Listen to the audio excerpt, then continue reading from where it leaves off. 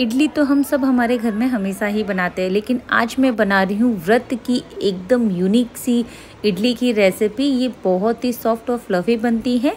ये जैसे रवा की इडली एकदम वाइट बनती है, उसी तरीके से ये इडली भी एकदम वाइट और बहुत ही सॉफ्ट बनती है। इसे मैंने थोड़ा सा आज यूनिक ट्विस्ट देने के लिए इसे ग्रीन बनाया है। ये बहुत ही टेस्टी है।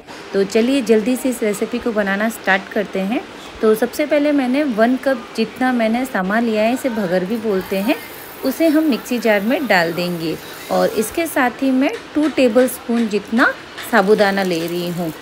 हमें इस भगर और साबुदाना को एकदम बारीक महीन पीस लेना है। तो हमें, मैं इसे मिक्सी जार में चला के एकदम इसका बारीक सा पाउडर बना लूँगी। हमें इसे एकदम महीन पीसना है ताकि हमारी इडली एकदम सॉफ्ट सी बने।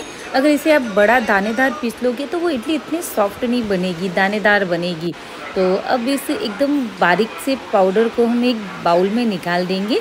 और हमें हमें इसका इडली बैटर बनाना है। इडली बैटर बनाने के लिए मैंने ये हल्का खट्टा दही लिया है, वन कप जितना। वो इसमें डाल देंगे और साथ में थोड़ा पानी डाल देंगे इसका घोल बनाने के लिए। और ज़्यादा पानी का यूज़ नहीं किया है मैंने यहाँ पे। इसका हमें थोड़ा गाढ़ा ही घोल बना के तैयार करना है। जैसा हम रवा इडली का बनाते हैं, उस तरीके से गाढ़ा ही रखना है हमें इसे पहले थोड़ा। हमें इसे बाद में अगर ये ज़्यादा थिक लगेगा तो हम बाद में भी थोड़ा पानी ऐड कर सकते हैं। अब मैं इस घोल को 10 से 12 मिनट के लिए सेट होने के लिए रख दूँगी, जिससे कि हमने जो वो समा का यूज़ किया है वो अच्छे से फूल जाए। और साइड में हम ग्रीन चटनी बनाएँगे। ग्रीन चटनी बनाने के लिए मैंने धनिया पाउडर लिया है, दो हरी मिर्च ली है और साथ में मैंने थोड़ा सा जीरा लिया है one tablespoon sorry one teaspoon जितना, और स्वाद के अनुसार नमक ऐड कर लेंगे। मैं और थोड़ा सा वन टेबल स्पून जितना दही और थोड़ा सा नींबू डाल देंगे। मैंने दही का ज़्यादा यूज़ नहीं किया है यहाँ पे, क्योंकि हमें इस चटनी को ज़्यादा पतला नहीं बनाना है, थोड़ा थिक ही बनाना है। और अभी देखिए, अब मैंने इसे बारीक पीस लिया है, इस पेस्ट को। ये देखिए, मैंने इसमें ज़्यादा कुछ भी यूज़ नहीं किया है, सिर्फ़ धनिया का ही ज़्यादा यूज़ किया है। मैंने इसमें मूंगफली या कुछ भी नहीं डाला है ज़्यादा। और इस तरीके से हमें ये थोड़ी थिक सी चटनी बनानी है। और अब ये 10 से 12 मिनट हो चुके हैं इस घोल को हमें रखे हुए। अब हम इसका इडली बनाएँगे। ये देखिए, काफ़ी स्मूथ सा ये पेस्ट हो चुका है। हमें इसी तरीके का चाहिए। मुझे ज़्यादा गाढ़ा भी नहीं चाहिए इसका घोल और ज़्यादा पतला भी नहीं चाहिए। तो अब इसके अंदर हम स्वाद के अनुसार सेंधा नमक डाल देंगे। मैंने चटनी के अंदर भी सेंधा नमक ही यूज़ किया था और अब हम इसे अच्छे से मिक्स कर लेंगे। हम ये इंस्टेंट इडली बना रहे हैं तो इसके लिए मैंने यहाँ पे मीठा सोडा लिया है। वन फोर्थ टी स्पून जितना, जिससे कि इडली बहुत ही सॉफ्ट सी और अच्छे से फूली फूली बने।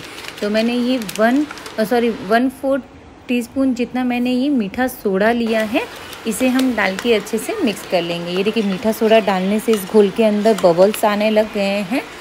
अब हम एक दूसरा बाउल लेंगे और उसके अंदर इस घोल को तुरंत ही वन फोर्थ और थ्री फोर्थ हिस्से में डिवाइड कर लेंगे। हमें एक छोटे बाउल में वन फोर्थ घोल हमें इस एक अलग बाउल में निकालना है और इसे हमें प्रोसेस जल्दी करना है क्योंकि हमने मीठा सोडा डाल दिया है। इसे ज़्यादा देर रखना नहीं है। मीठा सोडा डालने के बाद और अब हमने जो ये वन फोर्थ घोल लिया है, उसके अंदर हमने जो वो हरी वाली चटनी बना के रखी थी धनी की, वो हम ऐड कर लेंगे। ज़्यादा नहीं डालना है, हमें कलर चेक कर लेना है कि हमें इसमें कितना डालना है। मैंने यहाँ पे थ्री से फोर टेबल टीस्पून जितना मैंने चटनी डाला है। ये देखिए इस तरीके से ग्रीन सा पेस्ट बन चुका है, ये इडली का।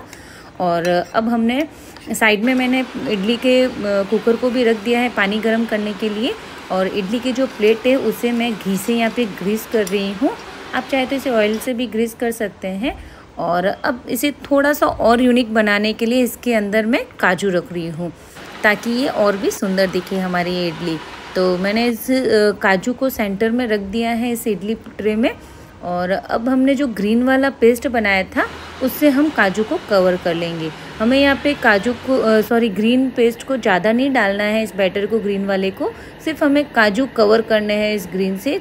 और अब हमने जो वाइट पेस्ट बचा के रखा था उससे हम इस ग्रीन पेस्ट को कवर कर लेंगे। ये देखिए, इस तरीके से पूरे ग्रीन जो पेस्ट हमने डाला है, उसे पूरा कवर कर लेना है। ऊपर ग्रीन नहीं दिखना चाहिए, ऊपर सिर्फ़ ये वाइट वाला घोल ही रहना चाहिए। इस तरीके से हम इसे अच्छे से इसे ऊपर फैला देंगे। अगर ये ग्रीन कलर वाला बैटर ऊपर दिखेगा तो हमारी इडली इतनी अच्छी नहीं दिखेगी ऊपर से। तो अब मैंने ये सारी इडली को भर लिया है इस संचे में, और अब हम इसे इसे कुकर के अंदर डाल के इसे 10 से 12 मिनट के लिए पका देंगे। यहाँ पे टाइम का ध्यान रखें, नहीं तो हमारी इडली ज़्यादा ओवर कुक हो जाएगी तो हार्ड हो जाएगी। और अब मैंने इसे 10 मिनट के लिए इसे हाई फ्लेम पे इसे पका लिया है इडली को। ये देखिए कितनी अच्छे से फूली फूली और एकदम वाइट इडली बनके तैयार हुई है। और अब तुरंत ही इस इडली को हम इस कुकर से निकाल देंगे। इस कुकर के अंदर हमें रखना नहीं है इडली को, नहीं तो ये हार्ड हो जाएगी। और ये देखिए हमने इडली को निकाल दिया है इस कुकर से। और अब हम इसे चार से पाँच मिनट के लिए हल्का सा ठंडा कर लेंगे। ताकि हमारी अच्छे से इडली डिमोल्ट हो सके। तो मैंने इसे तीन चार मिनट के लिए छोड़ दिया था, इसीलिए ये देखिए हल्की सी अभी भी गर्म है। तो अब हम इसे डिमोल्ड करेंगे। डिमोल्ड के लिए मैंने चम्मच का यूज़ किया। नाइफ से या किसी से भी कर सकते हैं। ये देखिए कितना ईजीली ये डिमोल्ड हो गई है इडली। और ये देखिए काफ़ी सॉफ्ट भी बनी है। ऊपर से एकदम वाइट और नीचे से ग्रीन बहुत ही यूनिक सी ये इडली बनी है। हमने जो ये ग्रीन पेस्ट डाला है, इससे इडली में एक अलग सा टेस्ट भी आता है और टिकने में भी ये सुंदर लगती है। और ये बहुत ही इजीली ये डीमोल्ड भी हो जाती है और बहुत ही सॉफ्ट बनती है। आज मैंने इस इडली को नारियल की चटनी के साथ सर्व किया है और नारियल की चटनी के अंदर मैंने थोड़ा सा हरा धनिया डाल दिया था, क्योंकि मैं आज ये इडली भी हरी बना रही थी तो इसलिए मैंने इसे चटनी को भी हरा बना लिया है। और ये इडली इस नारियल की चटनी के साथ बहुत ही टेस्टी लगती है। ये देखिए, एक इडली को मैं आपको तोड़ के दिखाती हूँ कि ये कितनी सॉफ्ट और कितनी फ्लफ़ी सी ये इडली बनी है। काफ़ी अच्छे से फुल के तैयार हुई है। हमने ये इंस्टेंट इडली बनाया है। ज़्यादा देर इस घोल को मैंने रखा भी नहीं है और ना ही मैंने समा को भिगो के या रखा था। ये मैंने इंस्टेंट बनाया है दस मिनट में। फिर भी ये बहुत ही अच्छी बनी है। ये देखिए, मैं आपको एक इडली को तोड़ के दिखाती हूँ। ये बहुत ही अच्छी बनी है। अंदर तक अच्छे से कुक हुई है। जैसे हम रवा इडली बनाते हैं सेम उसी तरीके से ये इडली बनी है। ये देखिए, कितनी सॉफ्ट है ये टूटने में भी। और ये देखिए मैं आपको दबा के दिखाती हूँ कि कितनी ये सॉफ्ट बनी है। ये देखिए दूसरी इडली भी मैं आपको तोड़ के दिखाती हूँ कि कितनी सॉफ्ट है ये अंदर तक। ये देखिए, अब कितनी यूनिक सी लगता है ये ग्रीन और वाइट कॉम्बिनेशन इस इडली का।